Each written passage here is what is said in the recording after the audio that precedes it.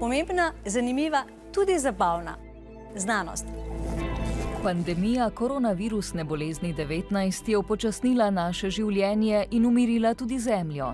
Zmanjšal se je nemir, ki ga z različnimi dejavnostmi povzročamo ljudje. O naravnem in umetnem seizmičnem nemiru. Ugriznimo znanost.